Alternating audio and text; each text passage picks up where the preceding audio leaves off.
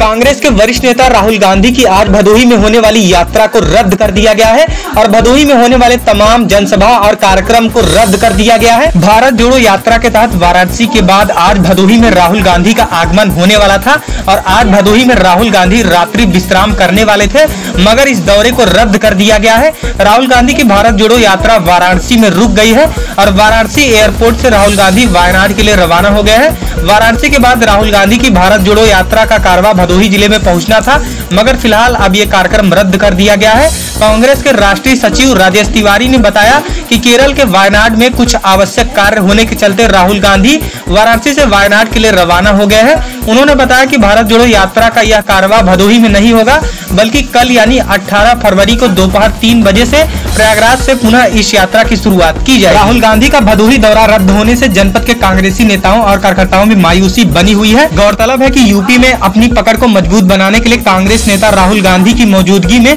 भारत जोड़ो यात्रा निकाली गई है। भारत जोड़ो यात्रा का यह कारवा आज शनिवार सत्रह फरवरी को वाराणसी से चलकर भदोही पहुँचने वाला था, मगर ये यात्रा रद्द कर दिया गया है। बता दें आपको कि आज सत्रह फरवरी को वाराणसी से चलकर भदोही में राहुल गांधी की भारत जोड़ो यात्रा पहुँचने वाली थी। भदोही के कंधिया रेलवे क्रॉसिंग से जनपद की सीमा में राहुल गांधी की भारत जोड़ो यात्रा प्रवेश करने वाली थी। चौरी के कंधिया रेलवे क्रॉसिंग पर पहुँचते ही भारत जोड़ो यात्रा का जोरदार स्वागत किया जाना था। इसके बाद भदोही शहर के इंदिरा मिल चौराहे पर मौजूद महात्मा गांधी की प्रतिमा पर माल्यार्पण करने का कार्यक्रम था और यहाँ पर एक जनसभा का भी कार्यक्रम था, जिस जनसभा को राहुल गांधी संबोधित करने वाले थे। इसके बाद निर्धारित कार्यक्रम के तहत राहुल गांधी भदोही शहर के ज्ञानपुर रोड पर मौजूद मुंशी लाटपुर गाँव में बनाए गए अस्थायी टेंट में रात्रि विश्राम करने वाले थे और उसके अगले दिन, यानी अठारह फरवरी को राहुल गांधी ज्ञानपुर होते हुए, गोपीगंज होते हुए, प्रयागराज की तरफ़ उनका कार्यक्रम होने वाला था, मगर फ़िलहाल भदोही में होने वाले इस कार्यक्रम को रद्द कर दिया गया है